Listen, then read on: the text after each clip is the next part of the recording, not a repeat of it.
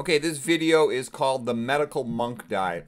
And where this comes from is, you know, I kind of get different feedback on what's a good name for my channel or a name for my diet. And one of them is the bad boy of veganism, which other people joke is like saying you're the toughest guy in the band. Because I'm talking about a lot of other things that you'll notice most of the, you know, the vast majority of the internet nutrition experts are trying to sell something, their channel or some product or something, whereas I'm not. And I talk about a lot of things that are, if you will, controversial topics. They get all get shadow banned. You know, when you criticize coffee or any big commercial thing, something happens. I just know because I look at the video counts. They all get, you know, partially shadow banned. So, anyways, that's why I was called the bad boy of veganism. I'll explain that in a little more detail. That there's different levels of truth telling on the internet. And what I've noticed is it's very safe to say what I would call old grandma truth. Old grandma says, you know, eat your fruits and vegetables, get your sleep. Your mom says stuff like that. And it's the truth. She means well, everybody gets it. And so there's there's nothing at stake when you talk like that. That's level one of truth. These are the truth zones or the truth levels. Uh, level two of truth is, you know, something that you could learn, for example, in med school is pretty much anything taught in pre med or med school is pretty much guaranteed what I would call baby truth. You know, it's true, it's nice to know, but it's not the big stuff, okay? The big stuff is is knowing things like eat a starch-based diet. that can save a lot of people's life. And I would say that Dr. McDougall is the king of level 2, where he'll point out problems with medical theory. He'll he'll point out that stents do not increase longevity of life, okay? He'll point out that open heart surgery, cabbage, coronary artery bypass graft, does not increase longevity of life. So these are very important things to know. He'll point out that all the healthy long-term populations eat a starch-based diet. So that's what I call level two truths, and they're very good to know. Uh, they're super important.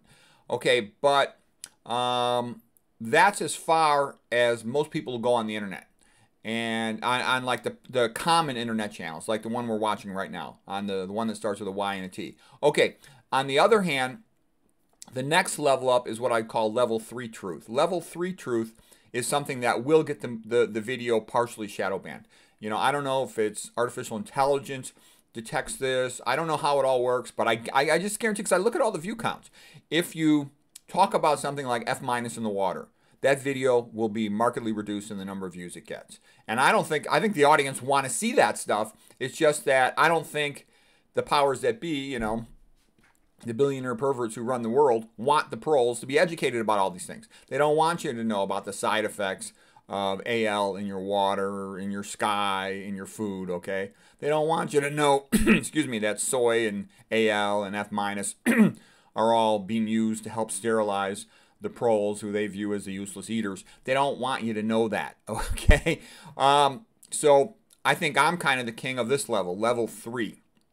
So level three is what gets you shadow banned, but it doesn't get you kicked off. Okay, and I don't. I'm not monetizing my channel. And yes, I I would love it if I had more views, but I know it's never going to happen. Okay, because I kind of live at, at level three quite often, and the reason I do it is because I want my channel to be useful. I can't be useful if I don't tell you stuff that's otherwise difficult for you to learn.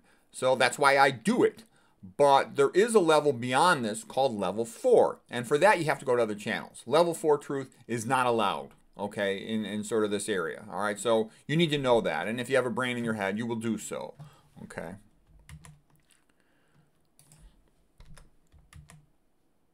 All right, and then the next thing, my sort of diet, I called it the Spartan vegan. And the Spartan vegan goes back to the idea number one, it's very sparse, it's very simple, it's very cheap. Because I think in simplicity comes a lot of strength.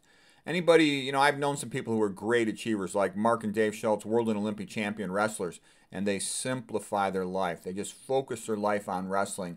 And I've seen other great achievers, and I also know when I've, you know, cranked out books, what I'll do is, even though I'm working full time, I just don't do anything else. You know, you simplify your life and you focus on something. So I kind of jokingly called my diet the Spartan vegan diet. And also, you know, my background is being, you know, a wrestler, which, you know, I'm seeking high performance. I want the best possible health, not some wimpy compromise with, you know, not being as fat as your cousin. I want what's the best you could do. So I like the name Spartan vegan. Um, and that led to some good things. So here's the typical Spartan vegan diet. It's real simple. There's only three foods Starches is the main supply of cal uh, calories. Fruits um, as the next uh, big supply. Let's say starches in the ballpark of, you know, 60 or more percent of calories from starches. Uh, fruits, I tend to eat about 30 to 40 percent of my calories from fruits, but I'm still exercising quite a bit. If I exercise less, then I would eat less fruits because they can make you gain weight. They don't satisfy hunger as well as starches. Veggies for some extra nutrients like your nitrates, nitric oxide precursors, vitamin B12, only only uh, methylcobalamin. I would never take cyano. I think that's for idiots. Um, I, I, monitor my level by just checking my B12 level about every six months or so. Uh, sometimes not even that often, and it's been it's been working out well for me. I only take it about once every two weeks. Uh, some people take it more often. It depends on what the dose is and what how what quantities you buy it in. By that I mean sometimes they'll only let you buy you know a thousand micrograms per pill, so you, you'll take it less often than somebody who's got a smaller dose per pill. Okay, then all the basic social stuff for getting your health squared away. That's all real important. Here's the food plate for the Spartan vegan diet. You know, the fruits, the starches, the greens, and then the only thing I drink is water. That's it. Uh, Dr. McDougall and Chef AJ, they eat less um, less fruits. They're probably in the ballpark of only eating 5 or 10% of their calories from fruits. They're afraid that if you eat too much fruits, you're going to gain weight. Um, other people say they eat tons of fruits and they don't gain weight at all. Some of it all depends because a lot of these guys who eat tons of fruits are really young. You know, like Bobby Barbaro and Cyrus Khambatta, the Mastering Diabetes guys, or you know that ultra marathoner guy like Michael Arnstein. You know, he moved to Hawaii to get more fruits so he can run his ultra marathon. So you know that'd be a nice life. You got all this good fruit available in a warm climate like Hawaii, plus it's a beautiful place to run. So that would be nice, man. If you want to be an ultra marathoner, what could be better than living there? Okay, here's a quick chart of comparing different diets. And basically, you know, standard American diet, you're screwed. Your health is screwed. You know, it's real high in fat, a lot of saturated fat. You end up with a lot of coronary artery disease, cerebral vascular disease, um, especially coronary artery disease and, and, carotid disease. Instead of saying cerebral vascular, let me just say cervical, the neck, internal carotid artery. Uh, they end up impotent very routinely, and they have a very high rate of cancer. If you go down the path of the East Asians, that's like Japan, Korea, China, you know, a lot of rice-based diet. Um, the problem with them is they put too much sodium in their food, and that gives them hypertension. They often smoke a lot of cigarettes too, so that predisposes them to cerebral vascular disease, meaning intracranial atherosclerosis. So I should have been more precise. When I say cerebral vascular disease, I'm really referring to intracranial atherosclerosis associated with a high rate of stroke. Hypertension is the number one thing associated with all these silent strokes, which I mean small ones that add up. Um, then the next is the South Asians, like people from India. And a lot of people from India, the main thing I think that's getting them into trouble with their health is too much oil in their food, too much fried food. They get some saturated fat from the ghee, butter, for example, but the big thing that's relatively unique is they're eating a lot of oil in their food. Um, and I gave a bunch of lectures on all this stuff before. Okay, the, the best diet is obvious. Low fat, low sodium. It's even low protein to be more precise. Vegan diet with no oil.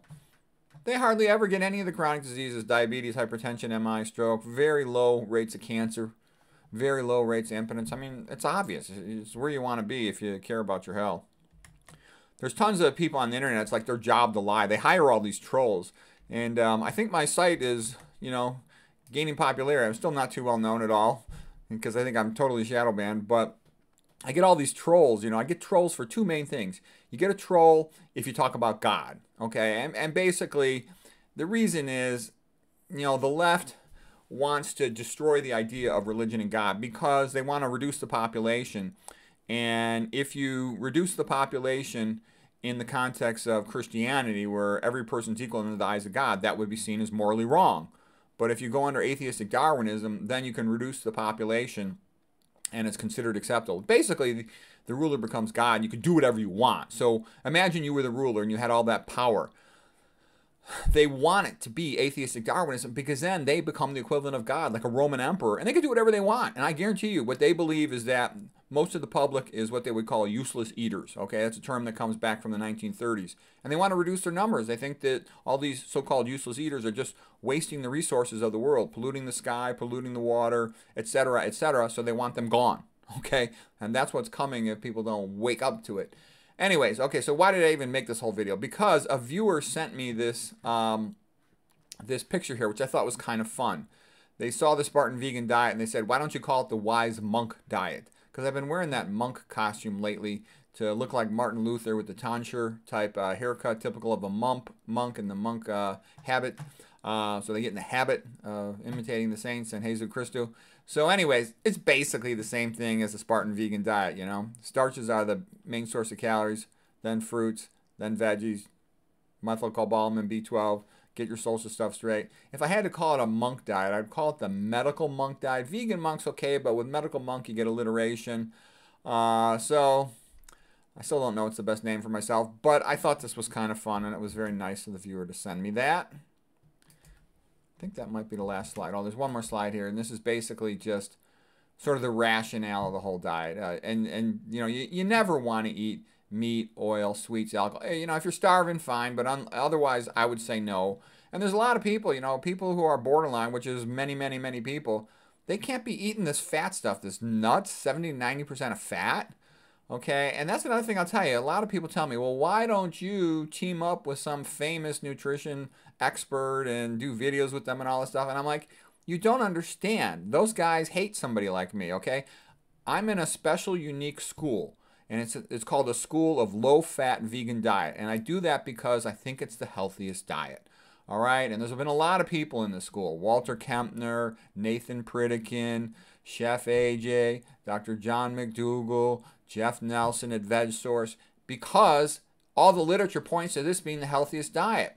Versus most of the famous people you see on the internet, they're famous because they're promoting stuff. And the way you get famous in, in, the internet is you promote something that a company wants you to promote. So most of the, the so-called vegetarian, vegan, vegan experts out there are promoting all this high-fat stuff. They're promoting soy. They're promoting uh, olive oil um, omega 3s, nuts, seeds. And so I don't do that. So, and also, lots of them are real famous. I mean, they get millions of views on all this stuff. You know, I don't, I get what, about 300 views on my average video. So, what I'm saying is, they wouldn't want to even associate with me because I'm a small time player, so to speak, in, in terms of getting views. And I wouldn't want to pretend that I'm doing the same thing as them because they recommend a high fat diet. I don't. So that's kind of what that's all about. And it's good for you to be able to recognize that because you'll see where the information's coming from, okay? And the other thing you'll notice is people who recommend low-fat diet, you don't we don't have sponsors, okay? Nobody sponsors me because there's you don't make any money off a low-fat vegan. They're healthy, okay? I'm 60, I don't take any pills and other low-fat vegans tend to be very healthy. So no corporate industry wants this low-fat vegan stuff because there's no money in it.